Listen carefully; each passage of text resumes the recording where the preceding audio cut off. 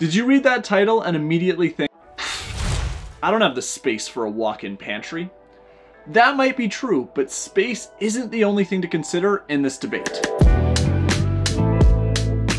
What's going on everyone? Welcome back to the channel. Now, I wanted to take a little bit of time and address this debate, if you will, between walk-in pantries and pantry cabinets.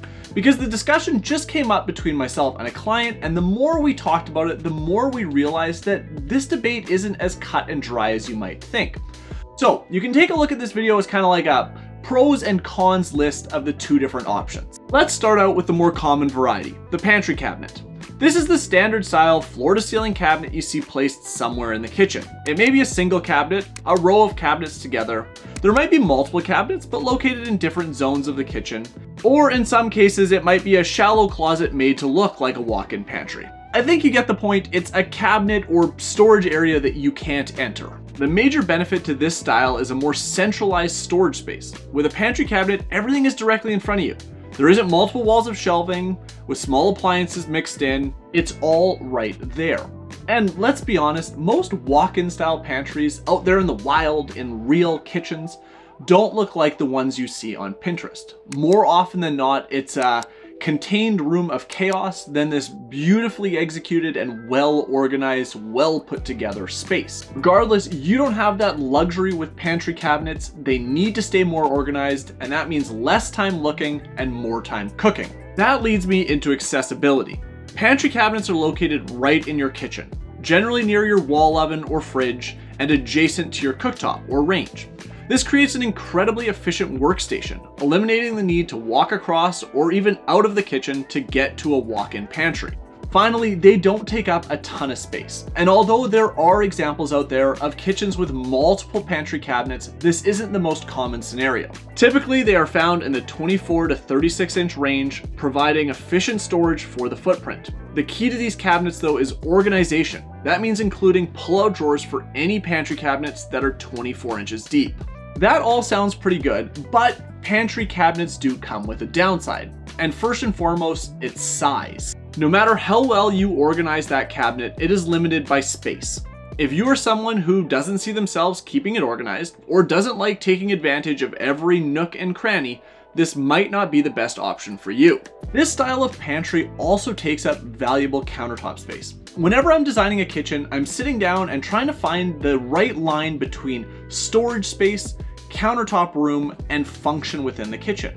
And the hardest part is that there is no right answer. It will change depending on your storage needs, how you use your kitchen, and what you expect out of the space. Just be aware that every pantry cabinet you include likely leads to a patch of countertop removed. All right, on to walk-in style pantries now. And these sort of seem like the holy grail of kitchen design. You know, it's one of those things, one of those elements in a kitchen that when guests walk into the space, they immediately go, oh wow, you are so lucky to have one. The biggest upside to a walk-in pantry is storage, period.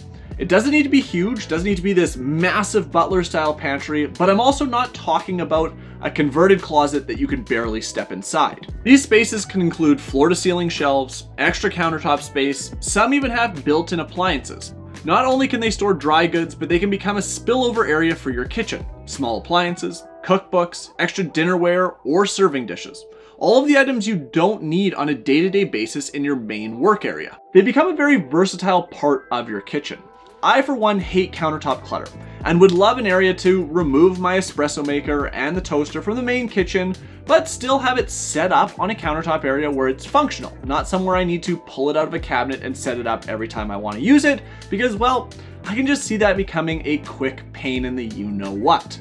The storage in a walk-in pantry can be more spread out. While some may think of this as a negative, for others it's a real positive. The extra space allows for a baking section, a dry goods area, it allows for space for serving dishes or mixing bowls. It's all about organizing the space how you want it, not by what fits where, which is typically the case with pantry cabinets. The downside to all of this space is that whipping up a quick dinner or dessert can take a little more time. Because a walk-in pantry requires a little more area, it is often separated from the main kitchen or working area.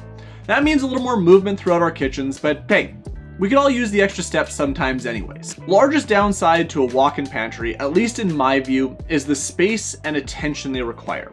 Not every home has the area that they can carve out for a walk-in pantry. And in many cases, the footprint and layout of our home is going to dictate whether or not that is even possible in the first place. In many cases, it often means shrinking the footprint of the main kitchen in order to accommodate the pantry. Only you can decide if that trade-off is worth it. Finally, walk-in pantries require upkeep. I'm not talking about simply rearranging like a pantry cabinet requires. This is another room. It needs to be cleaned and kept organized. Open shelves require far more diligence than those behind closed doors.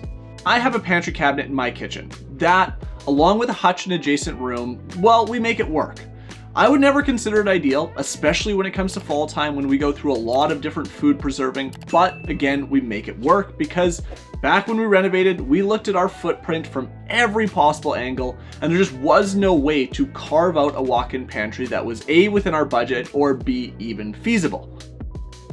So sometimes that decision is made for us, but I always think this decision is an avenue worth exploring. Hopefully this video gives you a little bit of food for thought, something to discuss as you're planning your space or working with your kitchen designer. If you enjoyed it, consider giving it a thumbs up or maybe leave a comment down below on your experience choosing one option or the other. Thanks a ton for watching, and until next time, bye-bye.